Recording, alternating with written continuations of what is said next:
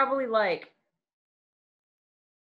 a cultural connection and context that maybe was previously hidden because a lot of this is hidden from most people and was hidden from me. I had to, I've spent my entire adult artistic career digging it up.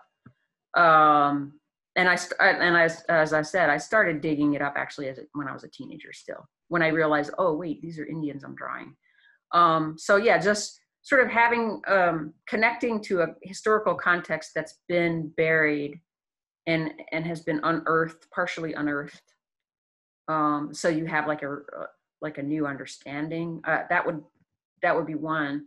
And then another would just be like a soul connection uh, through the art because the art is very much like sort of i call it vis- visual soul it's very sort of connected to the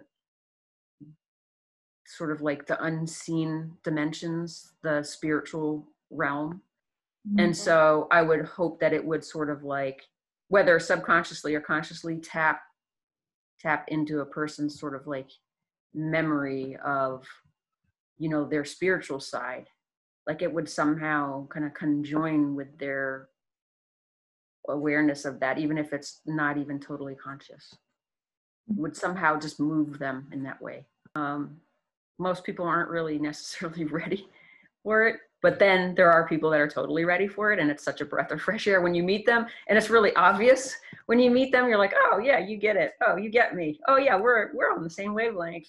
I'm happy. But then there's always the no we are not. No i can barely even talk about this stuff with you you you any of you because they're just it's just it's a certain you know mindset i guess. For me it's normal but that's i mean that's being an artist is like that anyway in general i think. If you spend a lot of time doing art you're going to be kind of sidelined you know you're not going to be mainstream in terms of like the types of conversations you're going to be able to have when you're just sort of out and about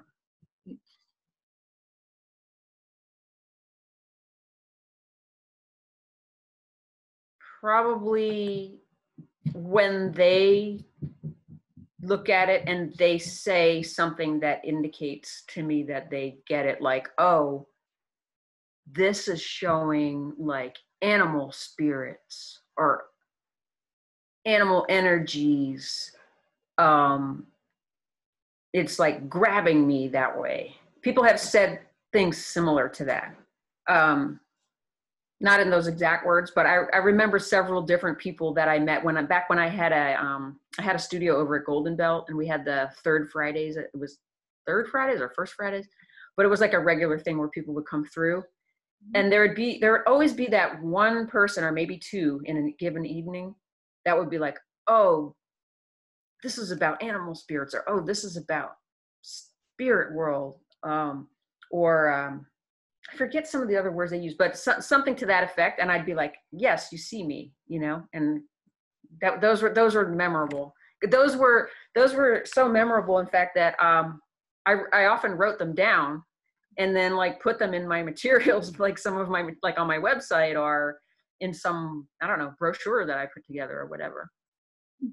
Yeah sometimes you can't really see yourself as well as somebody else who just comes along and just nails it they just nail it for you and you're like oh i need to like encapsulate that because you know I, i'm busy just being myself and they're seeing me from from the outside and and they're by identifying in that way they're teaching me about myself you know?